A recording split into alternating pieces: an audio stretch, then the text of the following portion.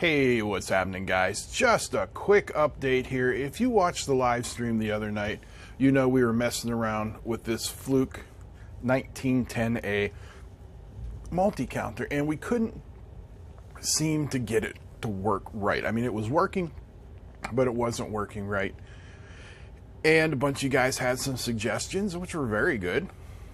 So the first thing I did was I replaced those two gigantic electrolytic caps in there. And then I received an email from a viewer, a former Navy guy, electronics technician, who has worked on these devices in the past, and he gave me a very detailed thing on what to do. And if you look here now, you can see we're getting 2.004K and up here 2.004K. So things are looking better. If we take this up, there's 20K, 20.3823, 20.3823.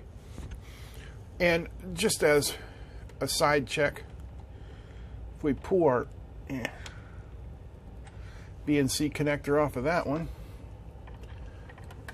we'll put it up here on this one.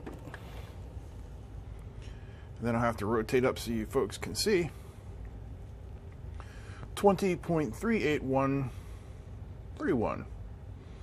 So we're looking good there on both of those counters are agreeing. Next, let's go over and attach it to a digital counter.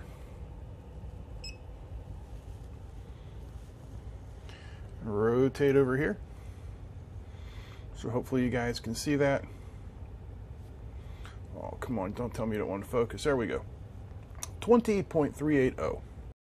So the one area where it was showing the largest amount of difficulty was in the lower ranges. And if you look here now, you can see there's 202.9 hertz. There's 202 there. And let's take it down even further.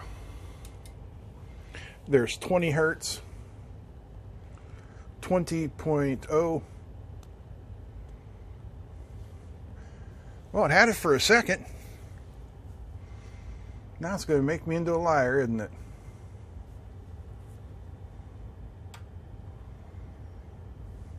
There we go. I just had to turn the attenuation off. So there's 20 hertz. And if we take it down, 15.3, it's showing 14. I mean, it could be this one that's off. So I've had luck getting this thing down to 10 hertz. So let's take it down to 10. And there you're seeing 10. So that's looking good. The totalizer is working. Everything is counting pulses real nice. Beautiful.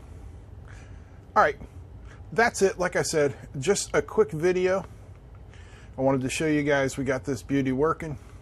And a big thanks to viewer John for his time and taking to write that email and explain to me the calibration procedure for this guy. Good job, shipmate. That's it. I'm out. Peace.